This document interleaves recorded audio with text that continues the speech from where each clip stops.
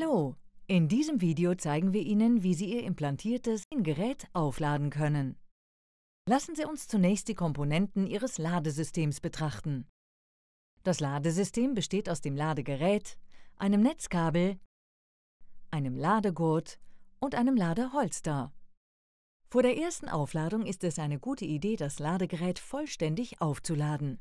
Dies kann bis zu sechs Stunden dauern. Durch diesen Schritt wird sichergestellt, dass Sie während des Aufladens Ihres implantierten Geräts nicht unterbrochen werden. Um Ihr Ladegerät aufzuladen, schließen Sie einfach das Netzkabel an Ihr Ladegerät an und stecken Sie es in eine normale Wandsteckdose. Sie sollten nur das mitgelieferte Netzkabel verwenden.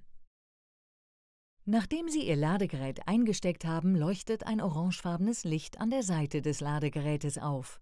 Dies zeigt Ihnen an, dass das Gerät lädt. Wenn das orangefarbene Licht erlischt, ist das Ladegerät vollständig aufgeladen und einsatzbereit. Wenn Sie Ihr implantiertes Gerät nicht aufladen, lassen Sie das Gerät im Stromnetz, damit es immer vollständig aufgeladen ist. Das Aufladen Ihres implantierten Geräts kann unterwegs oder in jeder bequemen Position erfolgen. Sie haben die Wahl. Wenn Sie bereit sind, Ihr implantiertes Gerät aufzuladen, entfernen Sie das Netzkabel vom Ladegerät. Legen Sie das blaue Ladepad in den Netzbeutel des Ladegurtes. Das blaue Ladepad sollte über Ihrem implantierten Gerät ausgerichtet werden. Sie können Ihr implantiertes Gerät durch die Kleidung aufladen. Es ist nicht notwendig, das blaue Ladepad direkt auf die Haut zu legen. Auf der Vorderseite des Ladegeräts ist eine Taste, mit der Sie das Laden starten können die Anzeige der Antennenstärke und die Anzeige für den Ladestand des Stimulators. Halten Sie die Starttaste gedrückt, um eine Ladesitzung zu starten. Das Ladegerät piept, während es Ihr implantiertes Gerät lokalisiert. Wenn die Verbindung hergestellt ist, leuchten ein oder mehrere Kreise auf der Antennenstärkeanzeige auf. Je mehr Kreise Sie sehen, desto stärker ist die Verbindung und desto unwahrscheinlicher ist eine Unterbrechung des Ladevorgangs. Ein erfolgreiches Aufladen ist jedoch auch möglich, wenn nur der äußere Kreis leuchtet.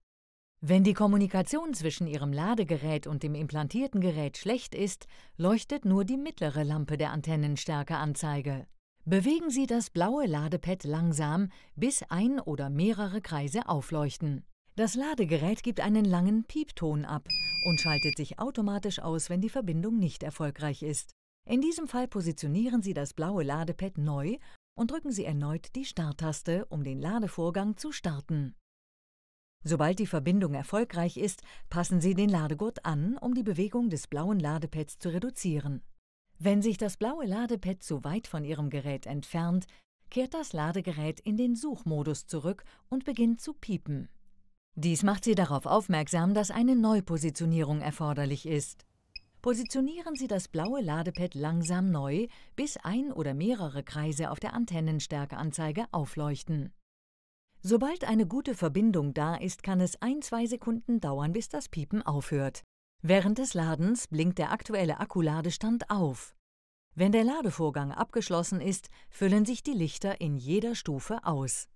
Sobald Ihr implantiertes Gerät vollständig aufgeladen ist, ertönt ein langer Piepton. In der Batteriestandsanzeige leuchten alle vier Stufen vollständig auf und das Ladegerät schaltet sich von selbst aus. Wenn Ihr implantiertes Gerät erfolgreich aufgeladen ist, schließen Sie das Netzkabel an Ihr Ladegerät an und dann in eine Wandsteckdose. So stellen Sie sicher, dass es vollständig aufgeladen und für den nächsten Ladevorgang bereit ist. Um eine gleichmäßige Stimulation zu gewährleisten, ist es wichtig, Ihr implantiertes Gerät regelmäßig aufzuladen. Die Batteriestandsanzeige auf Ihrer Fernbedienung und Ihrem Ladegerät zeigt den Ladezustand Ihres implantierten Geräts an und zeigt Ihnen, wann ein Aufladen erforderlich ist. Die Einplanung einer täglichen Ladezeit garantiert, dass die Stimulation niemals durch eine leere Batterie unterbrochen wird. Bitte wenden Sie sich bei Fragen an Ihr Nevro-Team. Vielen Dank.